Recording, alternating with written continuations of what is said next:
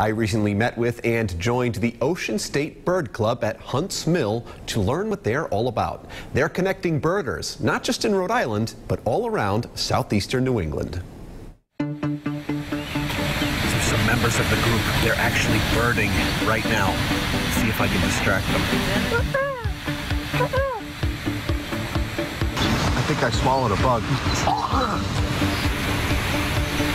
want to make sure I look good for the birds. I want to have my phone ready if I can get a like selfie with a robin or something. You want to have your feet about shoulder shoulder width apart. So this is a, you just said... I'm making this all up right now. the only thing Are you you authorized to do this, Dan? Sure am. I have a card, but don't ask to see it. Club President Dan Berard is absolutely authorized, and he explained to me that there's a difference between birding and bird watching. Bird watching is generally a little bit more passive. You're just kind of sitting outside, seeing what's come to your feeder, hanging out, having a cup of coffee. Birding is generally maybe a little bit more intense. You're out walking a trail, looking to see what you can find and actively looking for birds. I wondered, how does one usually get interested in this type of thing? Generally, birders have what they call a spark bird. So a spark bird is that first bird that they see that really gets them into birding. You never know what can happen. The birding space and location makes a difference. Where we are right now is what we would call a green space. So right near Providence, what's really interesting is a lot of the birds we're looking for, warblers, vireos, flycatchers, they're nocturnal migrants.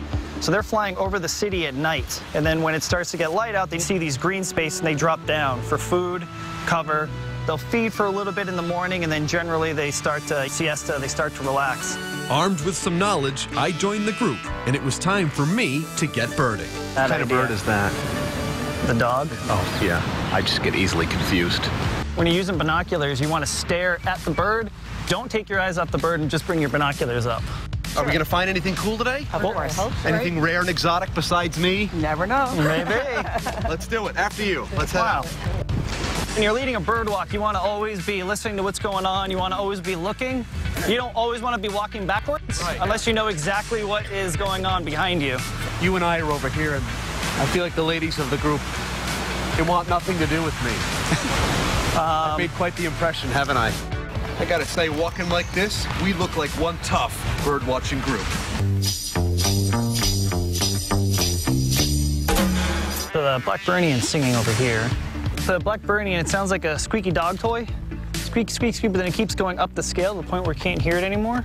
That's the bird that we're hearing. It's a very high-pitched song. Um, so warbler, it doesn't nest in Providence, but it nests like out in northern and western Rhode Island.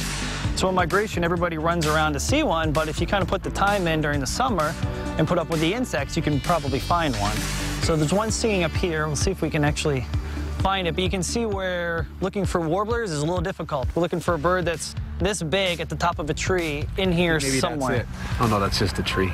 Well, you know, you're halfway there. Yeah, close. And with all of that exploring, we were done. I couldn't help but share some of my personal experiences with my new friends before I left. I would just like to leave you with my spark bird, the one that got me interested in all of this, a true bird of prey. Hey Larry, take a bow. Indiana has a new state bird. I had a great time with the group. Now, they are always looking for new members, and you don't have to be an expert to join them and have a good time. They have lots of events planned that help to enhance the entire experience. A big thank you again to them for allowing me to have some fun. We will post more info on our website, rhodeshow.com.